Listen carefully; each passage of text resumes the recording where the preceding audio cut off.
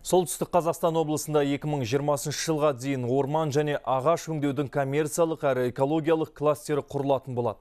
Оның жалпы құны 339 миллион теңге. 2017 жылы бастау алған тың жобаны жергілікті кәсіпкер Сермұхаммед Ахмуддинов жүзеге асырып келеді. Мәселен, былтыр ғылым қорынан қайтарымсыз берілген қаржыға азамат инновациялық техникаларды сатып алды. Бұл кешендер жұмыс күшін жеңілдетуге сеп болды. Ну, год уже работают, как раз, когда на обучение пошли.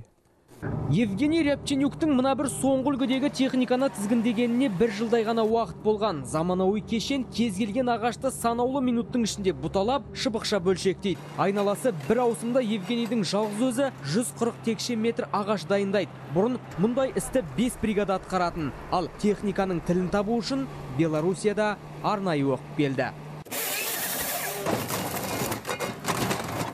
Здесь все установлено на компьютере. мұнда қажеттінің бәрі орнатылған. ағаш кесудің кез келген түрін орындайды. Өзіңе керекті өлшемді компьютер арқылы белгілесең болғаны.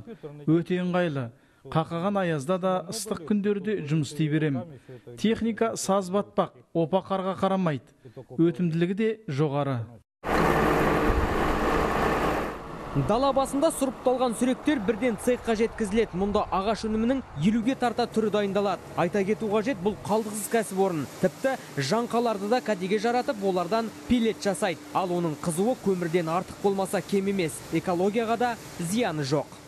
пилет деген өнімді бізді шығарып жатырмыз ғой мінекей бес жыл болды бірінші екі жыл соны қазақстан бойынша өте алмай халық үйрене бастаған бүгін біз айтамыз біз үлгере алмай жатырмыз оны шығаруға мен ойлаймын енді былай ары қарай қарайтын болсақ тағы да бір екі завод қою керек біздің облыс бойынша сонда ғана біз сосын өзіміздің қазақстан бойынша сұрағын жаба аламыз Енді кәсіпкер қайын ағашынан көмір жасауды жоспарлап отыр. Ол үшін жаз айларында жаңа зауытты іске қоспақшы. Мұнымен қоса жылыжай салмақ ниетте. Яғни онда қарағай шыршасында ағаштарды өсіріп, кесілетін қайынның орнына отырғызатын болады.